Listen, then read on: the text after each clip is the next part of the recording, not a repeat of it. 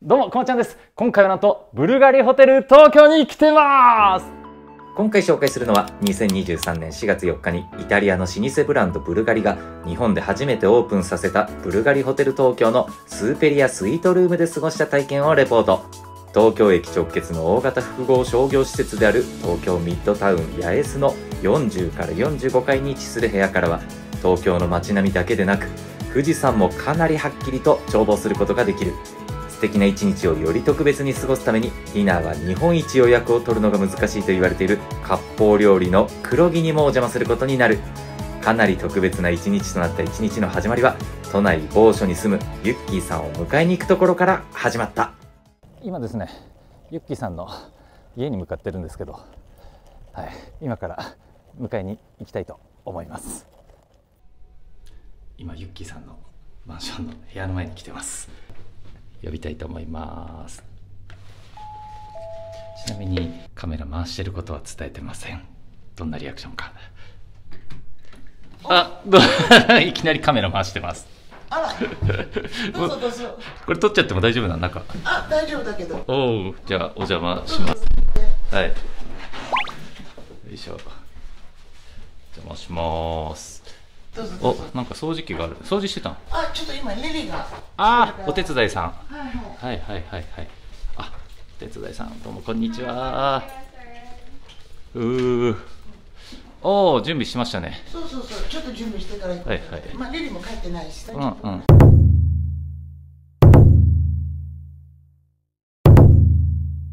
うんうん。あ、了解です。じゃあ、一回ここでちょっとゆっくりさせてください。どうぞどうぞ。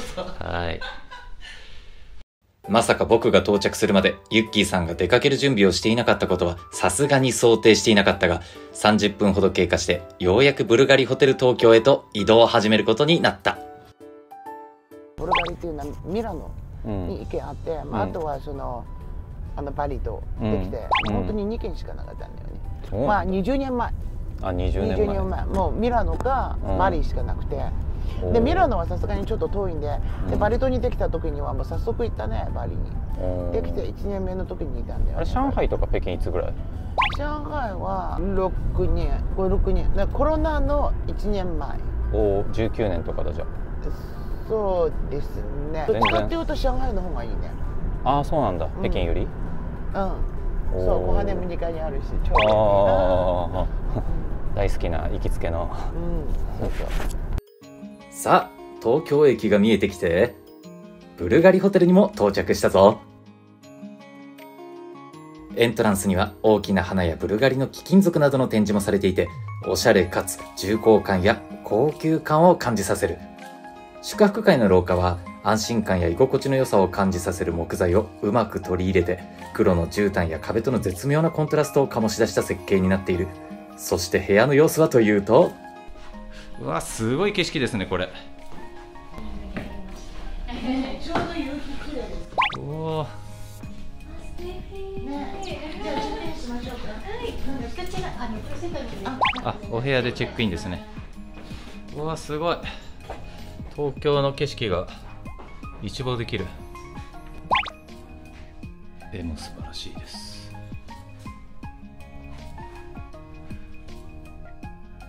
うわ、すげえ。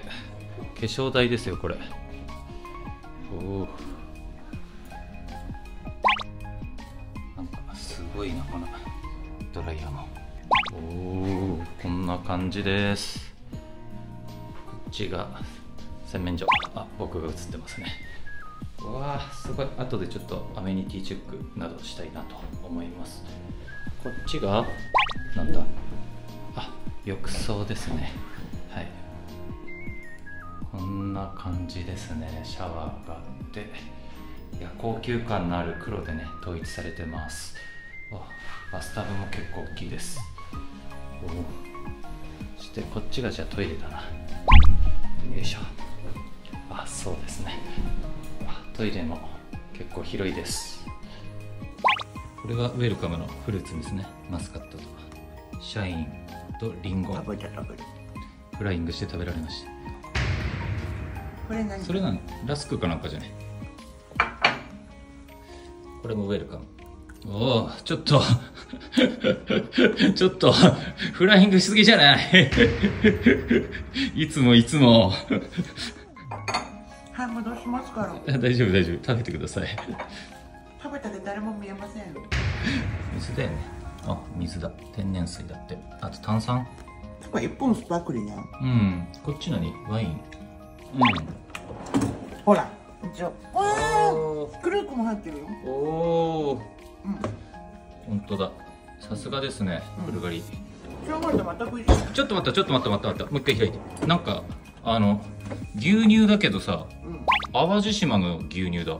なんでだろう。なんかこだわりあんのかな。珍しくない？さすがブルガリホテル。茶器やポットもおしゃれだし、冷蔵庫の中身やクリュックをはじめ牛乳に至るまで細かなこだわりの選定を感じる。お茶だって木箱に収納されているのだ。そして手書きで丁寧に思いを綴ったウェルカムカードのおもてなし。細かな配慮も完璧だ。え京都のジンもあるすげえ京都のジンうん。スプリッなんだってこれも面白い。これ何？あ夜間っていうか。あはいはいはい、はいお菓子スナック類です。おおスナック。なんだこれ。あ。これはこれはポテテトチップみたいなやつだね。おクッキーとかね。うん。おおすごい。おしゃれな箱に入ってますよ。誰か好きなコーヒー。うーん。あ僕の大好きなコーヒー。一応ほらしかも全部ブルガリだね。そうよ。おおじゃあちょっとブルガリのコーヒーは明日ブレックファストの時にでも。はい。おおミニバーは全部無料です全部無料なの、クレープとかあるよ。うん。これこれ多分お金取るかも。う多分普通の一般的なものは多分お金取らないと思う。んおー。上海はそうです。おーすげえ。日本はどうかなわかんない。これ何？あこれワイングラス。ね。こっちもあグラス。シャンパングラス。シャンパングラス。わあ洒落てますね。ワイングラスシャンパングラス。まあ合理的だよね、うん。休憩場所ちょっとルームサービスをた頼むときに食べる場所、で寝る場所はいはいはいはい。もう黒木予約したし、うちのキャンディーが来てるから、うん。あのもうなんもう前々からキャンディーを連れて行こうと思って。あーキャンディーのためにそう時間な日かなか合わなくて。本一予約が取れないレストランをそう取ったとそうそうそうそう取ったんで。贅沢ですね。もともとブルガリはイタリアですから。ブルガリだったらイタリアだね、ほどおー。うん、中華とかっていうのは微妙。けど上海のブルガリおすすめの日本料理コハネです上海のブルガリの中華はうん。建物すごくかあの、まあ、昔の建物でうん。100年前くらいの建物ですごいんですけど、はい。うん、食べ物味はいまいちです。ここは多分イタリア美味しいんじゃないでもここはチェックアウトじ、午後2時だから、うんうんうん。だからなんだったら別にお昼、イタリア食べてから帰ってもいいの、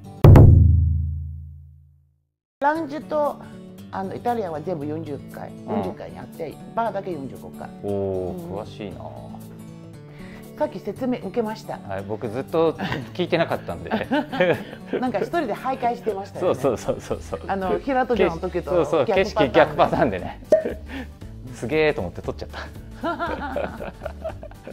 基本的には上海と超超超似てる、超似てるんだ。うん。へ部屋の電気を消したらうん。夜景が綺麗と思うめちゃくちゃ綺麗だろうね。うん。うん。おおちなみにこれ何これ？この。ただの本飾り。飾りか。うん。あもああ本当だ。おおせっかくだからちょっと紹介。うわそんなに。存在に。う。もあああなるほどね。なるほどね、はいはいはい。おしゃれですねやっぱり。ああなるほどね。う、うん、これはブルガリのはい。ハンドクリーム。おー。ハンドクリーム、おー新品ですね。おおこれも後で塗ろう。あこれほらくれてるよ。持ってっていいんだよあ持ち歩くよ。あなるほど。あこれじゃあブルガリの匂いいだ。ブルガリ の匂いね。うんブルガリのうん。そのほとんど全部同じ匂いだから。そうなんだ。石鹸もシャンプーもリースも。世界共通でね。ちょっとうん。年によって変わるんですけど、この何年かもずっとこの匂いだね。そうなんだ。はい、まあ一応全部ブルガリのアメニティですね。まあシャンプーリース。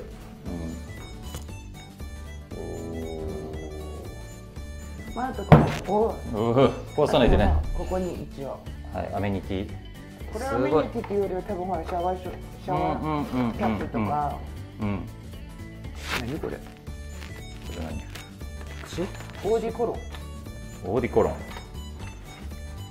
ほらあーなるほどどうですかクリームと同じ匂い。あクリームと同じ匂いブルガリの匂い他はどん。なのですかあ同じじゃないそれコットンとかコットンね。シャワーキャップとかあー。あそういうのがね。串とか。あー串とか。はいはいはい。可愛い串だね。なんか高級感がやっぱあるねいちいちね。さすがブルガリですね。あとは歯磨きとか。あ歯歯ブラシ。全部開けんの。どうせ開けるでしょ？あー。あこれ可愛い。あ串。私串持ってきてないそういえば。おおこれでいいやおお高級感のある串ですね。でも捨てあとはこれは何何ですかね。なんか開くタイプの。ああ歯ブラシ。歯ブラシこんな可愛いんだ。かわいいねこれ。オーガニックだ。歯ブラシ超可愛い。あしかもこうやってほらなんか向き合ってるっていうあかすごいね演出がね。あとこれシェーバーあおヒゲこれもまあまあなんか一あ応これなんかかっこいいね。あ爪やつうんうんうんうんうん。以上で。さすがこんな宝箱みたいなねまあ、とは別にないね。うんこのバスローブなんかなんか可愛いね、手触りがねこれなんかね。絹っぽい感じの。一応パジャマもある。ストレッチマットまであるよこれ。ほら。ストレッチマットホテルの中全部ある。あそうなんだ。パジャマシャングリラと全く一緒。そうなんだ。デザインはね。おおうんデザインは白の。全くシャングリラと同じだ。でもシャングリこれはなんか朝っぽい。シャングリラのはちょっと麺っぽい。かな。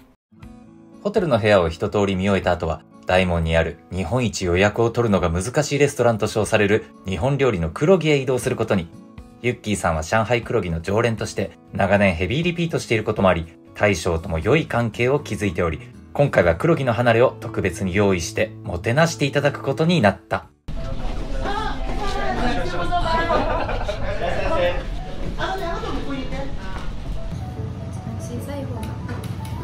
う。ちの女房あれ、上海の黒木も箸選ばせてくれましたっけ？上海の黒木私だけ前箸です。あ上海の黒木前箸にあるの。私だけです。みんな割り箸です。私だけ前箸と前グラス。確かに。紫。紫なの。じゃあもう今日も紫。紫。このおかみさんです上海で私とよく一緒に黒木行ってた日本の黒木初めて今日黒木のために東京に来てるみたいな食前酒をいただき、お楽しみの食事にいよいよこれから突入する。飲み物にはよそのレストランではなかなか見かけない八海山のビールを注文した。もち米なんですがその、えー、フグのお出汁を使って戻したもち米ですねで身も一緒に混ぜてうまいありがとうござい。ます上のちょっと。下にそして、えー、リゾットのような感じにして召し上がってくださいうわこれはうまい。何これ？ちょっと、声だけしか取れなかった。今、早すぎて。うわこれうまい。これねちょっとしてでもねあのあんまり崩さない方がいいかも。香ばしいから皮が。おー。うまい。これやばい。取らずに早く食べた方がいいかも。本当。だまずちょっと白子食べてから混ぜた方がいいかも、うんうんあちょっと待って。少しまず一口白子食べてから。いただきます。何この白子。やばい。めちゃくちゃうまい。美味しいです。こちら先ほど召し上がっていただいた白子です立ね派ですね。だいぶ大きなフグご用意させていただきます。トラフグです立ね派です。山口の下関というところから取れたフグですね。あとは八戸のマグロですね。このフグすごいでかっ。このでかいカニは2種類ですね。茹でてある浜魚のカニ。ですよね。そして鳥取の生のカニ。とかマグロとか普通。このフグはちょっとちょっと。あなた言いたい放題ですね。ですね。牛のヒレの部分滋賀県の近江牛と群馬県の坂東もちぶ歌ってる豚肉ですっていうかずっと欧米牛でしょここ使ってるねえもうもうずっと欧米牛これ欧米牛いないのよ。牛肉出されたことない。ゆっきーさんゆっきーさん。サーロインの手前の炙りたてのカラスミそして、えー、黄身黄身寿司も来ました。牡蠣ですね。そう。真ん中カラスミを食べるときはちょっと炙ってから食べた方がいいんだよ。うん。これはね大根と一緒に挟んで食べると美味しいんですよ。うーん日本酒に合うしとああ服ちゃんとほら干し柿も入ってます続いてはカニ料理。これがめちゃくちゃうまいのだ。最高級の食材のみを揃えている黒木の旬なカニが美味しくないわけないのだ。上海の名物、高級食材の上海ガニを食べ慣れている上海のキャンディーさんも、このカニのクオリティには大満足。そしてこちら、一見親子丼のように見えるこちらの料理は、カニをアレンジして調理された一品。卵と出汁の味がカニとマッチした新感覚の絶品であった。お餅ですね。はい、下にエビ芋ですね。はい。どうですか？うん。黒木の味です。プリプリの焼きカニです。一本丸っていっちゃってくださいわあこの焼きカニの焼き加減すごい。すごい。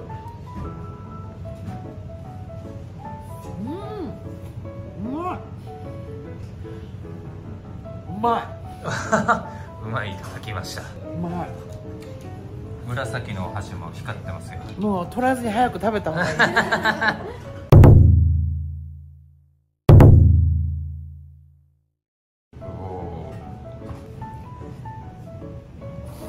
うん。いかがですか？うまいはうまいですよ。何その微妙なコメント。でもこれ本当に私100回以上食べてるのあ若干飽きてるっていうのはあります。ーあー。贅沢な。10回ぐらい食べてるキャンディーさん。どうですか？いや私的に上海より美味しいと思いました。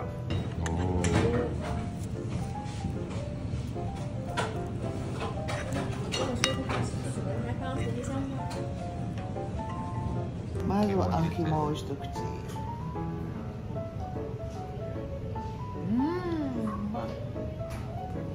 このあん肝美味しいですよ、ここで食べるともうビデオ撮ってるもん倍がないと。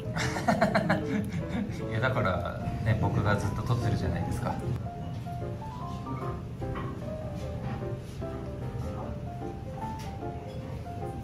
うまい。このフング超うまい。今本当に黒木できてから太ったもんね。本当。だって私最初キャンディーとね一緒に仕事してる時まだこんな太ってないんですよ黒木できてからどんどん太ってるんだよもう本当に95%黒木のせいです。黒木のせいですか？う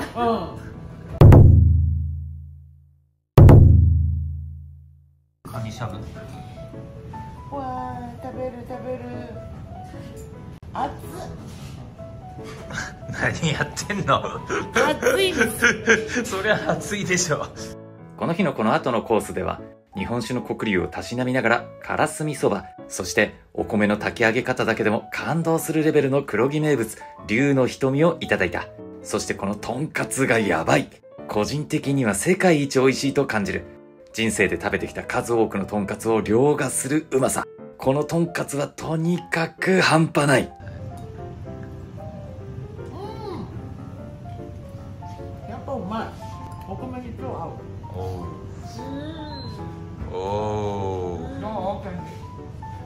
お米は全然足りない。足りないお米が全然足りない。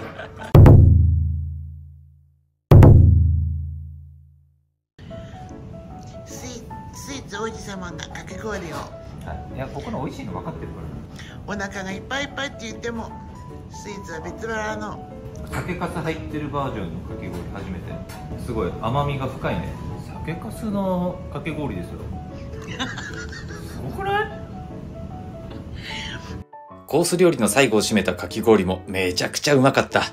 黒木の料理は本当にどれも奥深くて素晴らしく、もしかしたら日本一美味しい日本料理ではないか、と本気で思うレベルだ。そして帰り際には、この日自分が使った箸やお土産の料理を包んで渡してくれるのだ。こういった細かなおもてなしや徹底したホスピタリティ、そしてエンタメ性なども含めて最高に素晴らしいレストランだと思う。いやー、お腹も心も大満足だ。食後はホテルへ戻り、45階にあるブルガリバーで飲むことに、スタイリッシュで広々とした空間に設計されたバーは落ち着いた時間を過ごせるし、良い雰囲気だと感じた。また、このバーはベランダもあり、高層階のベランダから堪能できる東京の夜景はなかなか価値があると感じた。暖かい季節ならばベランダを利用することで室内とはまた違った雰囲気を楽しめそうだ。おお勝手に開いてますおお勝手に開いてますすごい。自動で開いてます。戻ってきたら。上海のブルガリじゃない。東京のブルガリはどうですか？まあブルガリはブルガリだよね基本的には上海と変わないんですけど、まあ、大体ここ5フロアしかないから、うん上海も丸ごと1棟ですから、うんで隣の棟もレストランになってたりとか、うん後ろはサービスアパートメンなんとかあるとう、んまあどっちかというと上海の方が高価格のここよりはあるかな電気を消すとうわ別世界ですうわー綺麗だね東京の夜景がほんと綺麗です。朝ごはんでルームサービスです。和定食。和朝食か。とこっちはアメリカまだ食べてないんですけどンはい。見た目はフォーシーズンとかシャングリラの方が美味しそう。あれ？あでも本当そうなんですよ。少なくとも、うん。なんか箱とかいろんなのとかうん。和朝食の場合は、うん。なんか本当にシャングリラとかマンダリンとかの方が豪華そうには見える。洋食があまり変わらない。うん。ただ、うん。この洋食の方は逆にフルーツはここはすごい綺麗に盛り付けてるから他のホテルはそこまで盛り付けてない。あそうなの？ルームサービスの場合はね。うーん。東京周辺のこの辺のホテルで全部泊まったことあるうんうんううんん。